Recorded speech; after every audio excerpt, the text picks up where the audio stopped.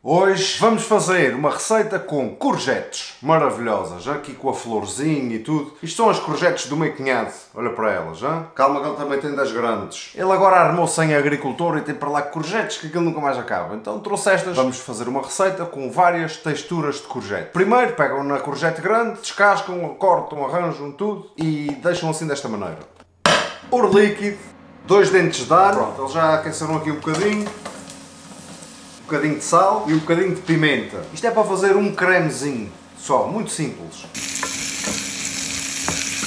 Um bocadinho de água, é só um bocadinho, porque depois vamos triturar isto para fazer um creme e não queremos um creme aguado. Quando estiver cozido, trituram. Estão a ver? Isto está assim um cremezinho. Assim.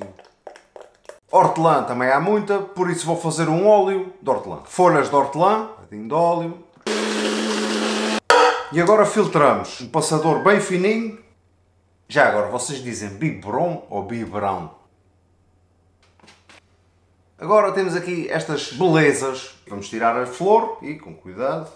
Estas pequeninas cortamos assim às rodelas. Ouro líquido, sal, pimenta, pimentão de lavera. Se não sabem o que é, vão pesquisar. Temos aqui uma mexidela para envolver isto tudo. Enquanto tratamos das flores, estas rodelinhas de courgette ficam ali a marinar. Bem, o que vamos fazer com as flores é muito simples. Vamos recheá-las queijo fresco de cabra, sal, pimenta, mel, ouro líquido e 4 folhas de hortelã. Cremezinho mesmo. Metemos num saco pasteleiro. Pronto. Já está recheado. Agora vamos fazer um pó. Um bocadinho de farinha, um ovo e um bocadinho de água com gás. Água com gás gelada. Passamos a flor no pó, deixamos escorrer e depois passamos em panko. Se não arranjarem panko, podem fazer com pó ralado também. Olha aqui, ó. ó. Lindas. Está super mega crispy por fora.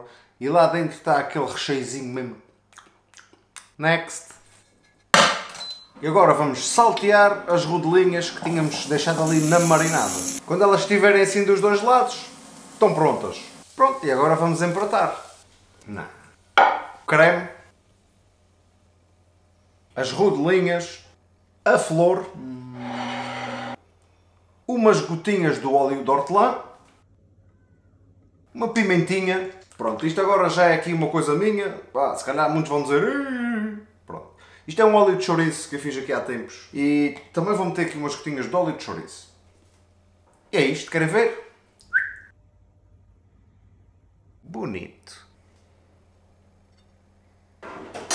Ficou provado que de um único ingrediente conseguimos fazer milhares de coisas. Cremezinho de courgette, courgette salteada. Não, preciso estar a dizer isto outra vez, porque vocês já viram o vídeo. Ah, não sei se repararam no truque, mas a flor está em cima de duas rodelinhas destas. Que é para quê? Que é para a parte de baixo não ficar ali em contacto com o creme, para não ficar tudo mole. Hum, é pá, é bom. É bom mesmo. Hum. Só este creme de courgette com as courgettes assim salteadas, isto fica espetacular. Olha, agora vai à mão e tudo. Hum.